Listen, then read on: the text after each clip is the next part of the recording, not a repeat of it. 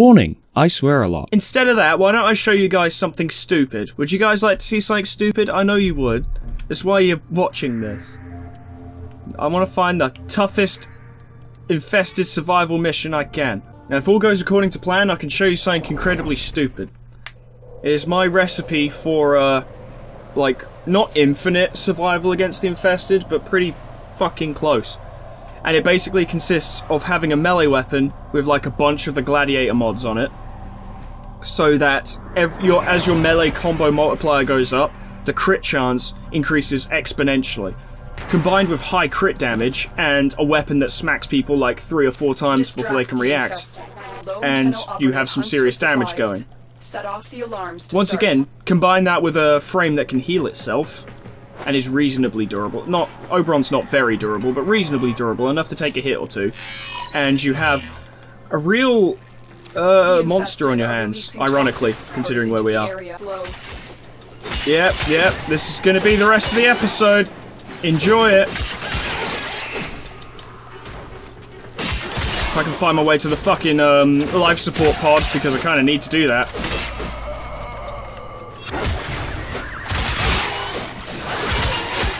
So you'll notice in the bottom right that my combo multiplier is currently at 2. Already, that is a significant boost to my lethality in melee combat. It's only going to get higher. I haven't even turned on my healing powers yet, I don't need to. I guess it is completely unnecessary by this juncture. Alright, I don't actually want to lose that though. Should point out, in case some of you are wondering, that some of the mods I have in my storage also increase the duration of which I can not swing at people before my combo multiplier disappears, which means I have an extended period of time to either find new targets or get to safety if necessary. So I don't need to throw myself into horrific circumstances that I can't possibly survive. It works pretty well overall. As I'm hoping to demonstrate, like that's the plan right now. Just just smack things. Guys, why aren't you attacking me? I was expecting more. You guys haven't even begun to see what a massive fucking piss take this outfit, this like my loadout is, as it were. 200 kills, easy, no problem. Next. I should point out also, uh, that a lot of the talk I'm going to do right now is pretty much going to be for people who have at least played Warframe, but by the same token, I feel like people who are perhaps interested in playing, or at least have a knowledge of video games in general, could probably appreciate it.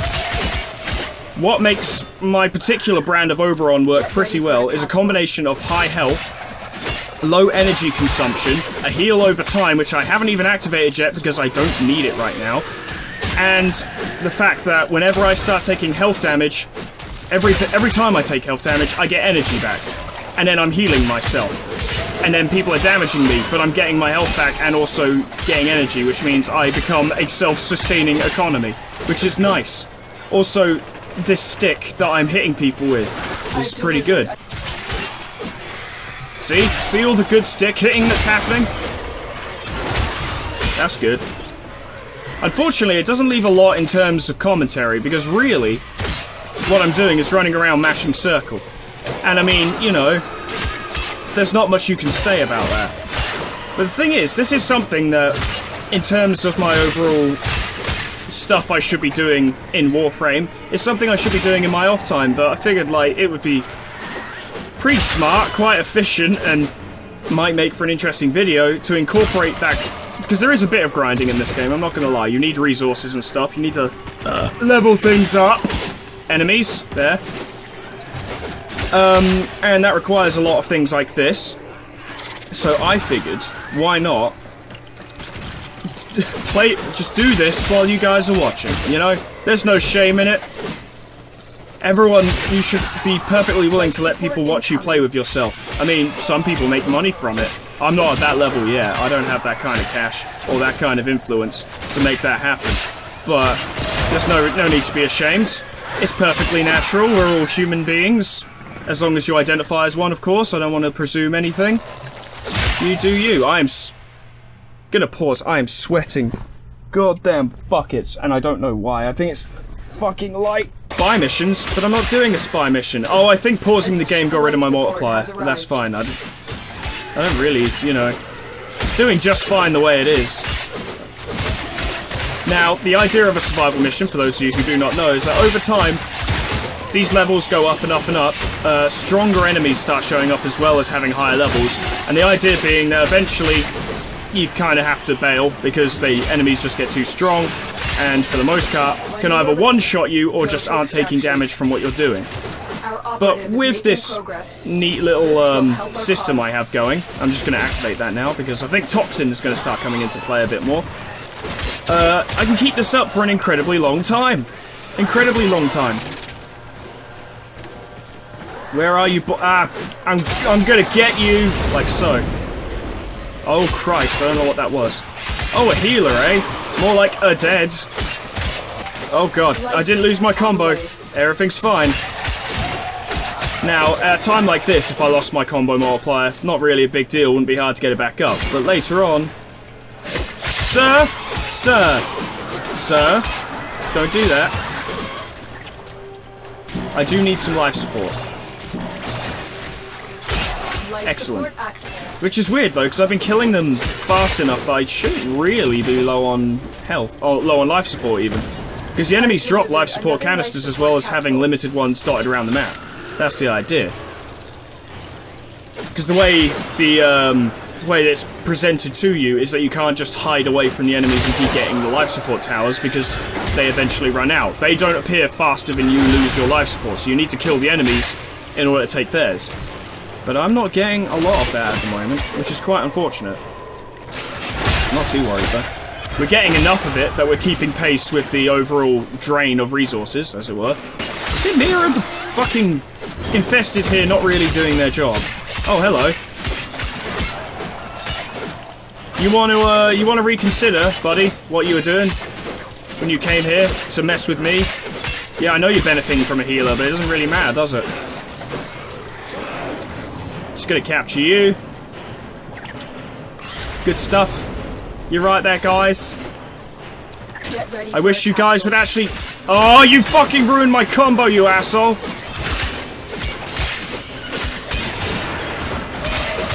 It's fine. I don't even care. Do, do I look like someone who cares? Because I, I evidently do not. Like, it does not bother me. In the slightest. Fuck, Molotovs. Space Molotovs. Where the fuck is everyone?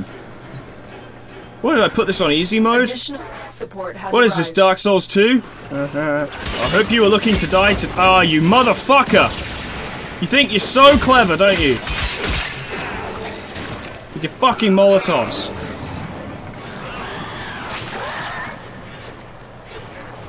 That's two.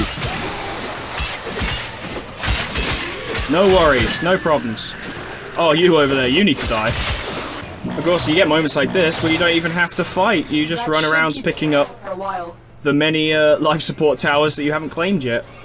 So the amount of time that you survive for is even longer because you're not in immediate danger. There's a lot to consider. Life support yep. activated. I'll just wait here until um, more danger show up. So what's been going on with you guys? Uh, the new puppy's coming along nicely. He stopped peeing in the house, which is great, because I was getting really sick of mopping up pee. As uh, anyone would. Anyone out there who's a janitor, I now know your pain. Not the worst. It's not the worst thing in the world, but it is inconvenient, especially when it's your house. Oh, oh, you're like that, are you? All right, time to heal. I'm gonna get you so good, like so. 2,500 credits? What is this? Peasant? Frame?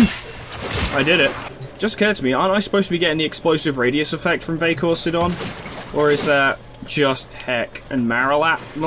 Or do you only get one? Like, you can't just have a full fucking weapon set and have all of them have the uh, radius effect. I don't know. Who's next? Who wants some of this? You think you're funny? You're even more funny as a corpse.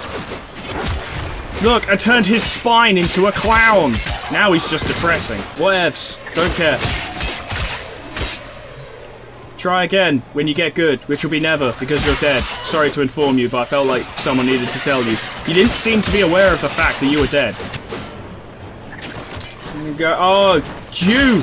You are the one who is the ball licker.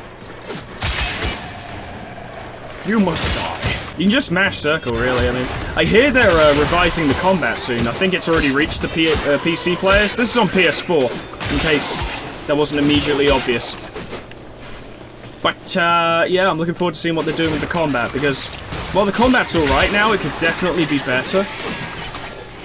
Like, all this channeling shit is fucking useless. Although, I could probably be using it right now, because I have so much energy that, you know, who cares. Oh, that is extra damage! Oh, that is extra damage. Alright, maybe I should have talked shit. I love it, because, like, there's the moment when your shields drop, and there's, like, a little sound accompany, uh, that will accompany it. Which is sort of like an, oh no moment, you're kind of in danger, but for me, it's like, when my shields go down, it's like, good, now I'm getting energy. There's a reason I haven't buffed my shields, because they're not the most useful defensive measure for me. They can be helpful, but for the most part, they're almost a bit of a hindrance. Because I want enemies to get through the shields, so I start earning energy. I've thought this through. I'm not really good at this kind of, like, clever combinations in games like this, like you get Magic the Gathering, for instance, or Hearthstone, where it's like building things in a certain way to get beneficial results. I'm typically very bad at it, but I am quite pleased with myself when it comes to, to this, to my Oberon Prime, because he's built himself quite well.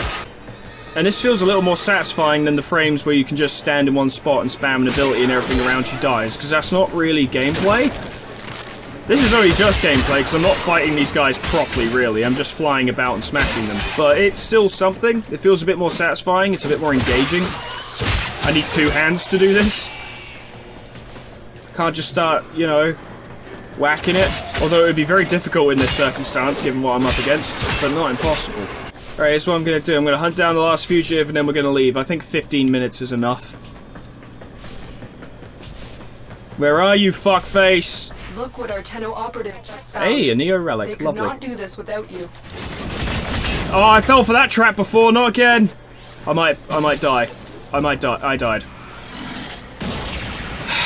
what a wanker.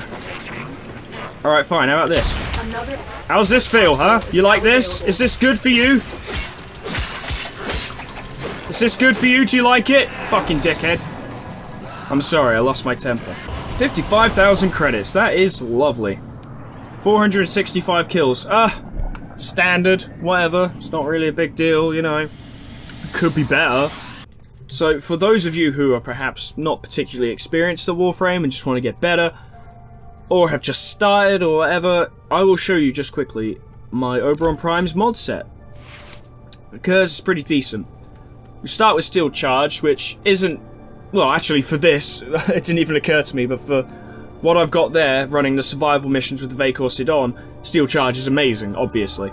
So I've got that. I've got Rush, because I like my frames to have a bit of speed to them. Doesn't have to be uh, insane, although, actually, it just occurred to me, show you real quick. I've got Loki in here as well, who is the fastest frame in the game. Let's pick a better colour scheme for him. That's my favourite for him. But yeah, I managed to get my Loki's sprint speed up to 1.81, which I know isn't the highest, but I'm still quite pleased with. He's very fucking quick, he runs faster than the doors can open in levels, which is hilarious. But going back to Oberon Prime, because he's kind of what we're focusing on right now. Where are you, my friend? There you are. Uh, yes. So we have Steel Charge, we have Rush, so power and speed, that's good. Intensify, obviously, maxed out. Hunter Adrenaline, very useful, converts, actually vital for this build, converts damage on health to energy. So for a healing frame, that's marvellous, because they're providing you with the energy you use to keep yourself alive, like I said. Fucking, uh, self-sustaining economy. Constitution adds to your, um, ability to use your powers for extended periods of times at lower energy costs, and you recover from knockdown faster, which at the start of the game, not a big deal. Later on, you'll be getting knocked down left and right. It's so frustrating. And that will at least ease some of the sheer irritation. Gladiator Aegis. More armor, and combine, like, all my Gladiator, because Gladiator mods are a set, right? I know most of you out there are like, yes, Foreman, I fucking know this, but some people don't. I'm just trying to help out people who don't know. But the Gladiator set is a set, and the way that sets work is the more of them you have equipped overall. So I have a melee weapon with three Gladiator mods attached to it, and then I've got another Gladiator mod attached to my Warframe. The more you have, the higher the benefit you get from that set. So the Gladiator set gives you increased critical chance per combo multiplier. I get an extra 60% critical chance for every, like, one combat multiplier. So obviously one would be 0% because that's not a combo. But when I get to 2, that's an immediate 60% increase. When I get to 3, that's a 120% increase.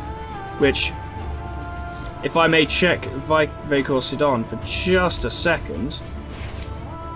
Critical chance 24%. Yeah, I wouldn't bring it up to 100, but it's high enough and I swing enough times that most of my attacks are going to be crits. Combined with the fact that its critical damage is 5, times 5 damage on a critical hit, with a base of about 550 puncture damage, you're talking serious fucking damage. I'm saying damage a lot, but it is necessary. Because that's what we're all about. Vitality, obviously, for this build, incredibly important. Having a high health pool, which means... Because like, there's no point having regenerating health if one attack can knock you to zero, because you can't regenerate dead, you know? So having a high health pool technically also gives you a high energy pool and increases your survivability when using your energy pool for that purpose. Flow, obviously, no point gaining all that energy if you cap at like, what, 200 or something you need a lot of energy to work with. And finally, continuity, more duration, streamline for efficiency. It's not the best combo in the game, I know. I have friends who have better combos. But this is a fairly basic bitch combo, in my opinion, of mods that will, I feel personally, get you through all the base game content. When you start getting up to the higher level shit, then you kind of want to be playing with friends anyway to try and even the odds a little bit.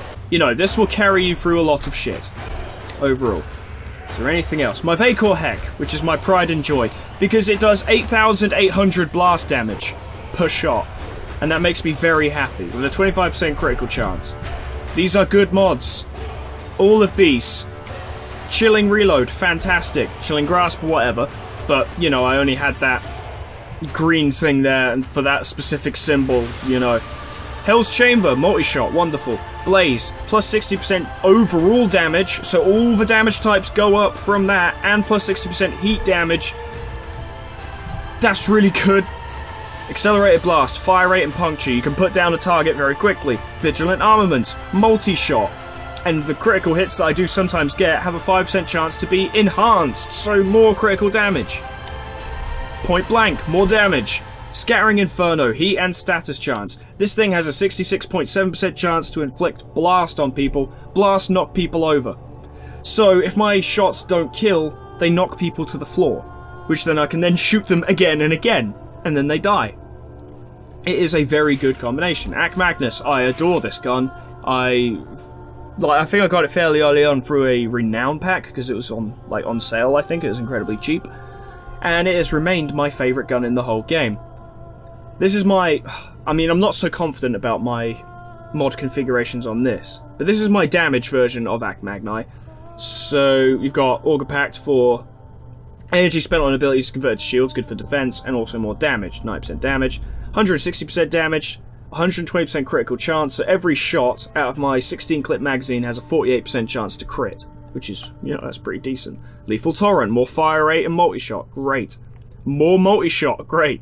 Reload speed, always useful. Target Cracker, more crit damage. It does 3.2 times its normal damage in crits. And a little bit of concussion rounds thrown on the top. I could do with former, former-ing this thing a bit more to really squeeze as much power out of it as possible. But this is what I got for the time being. And I got config A. I'm having trouble with my words today. And the idea of this is basically a balance of power and silence. This is my silent weapon, basically. And it's roughly the same as my damage one, except a lot more cold damage. Pretty much.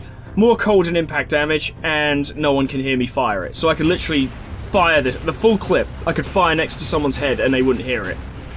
Which is useful because my accuracy sucks. And then finally, I have a cat. This is my cat. It's called Tiny. It's very cute. But yes, that's all I've got for today in terms of Warframe. I might do some more one-offs on this, I don't know, it is fun to just dick around, but I'd have to think of something genuinely interesting to do. But that is, you know, considerations for another time. If you're on the fence about getting Warframe, I'd highly recommend at least giving it a try, because it's free. You know, I mean, great, it's a hefty download and it will take you a fucking while, but if it turns out you don't like it, you can just delete it. You know, you haven't paid any money, you haven't really invested. Oh, hey, Conan Exiles, cool, thanks. You haven't really invested yourself. You know, you can still back out with no cost to yourself, other than maybe some time, if you decide you're not interested. But yeah, it's entirely up to you. I mean, you know. Either way, I hope you enjoyed watching the episode. Little one-offs like this are fun to record. Um, whatever I do next, and that's... Yeah, I've got something in mind. That'll be interesting. But whatever it is, gotta keep up the veil of suspense and surprise. I hope I see you there. Toodles! Goodbye!